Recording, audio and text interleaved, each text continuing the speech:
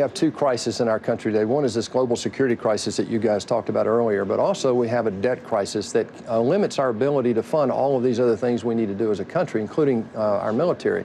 But right now, the baseline budget for the United States government means that over the next decade, we'll add $10 trillion to this debt. And most of that is in our mandatory expenses, Social Security, Medicare, Medicaid and the interest on the debt, which is going up every day. So these are the priorities that I want us to deal with in the American Congress. And, and so far in the last two years, we just really haven't done that. President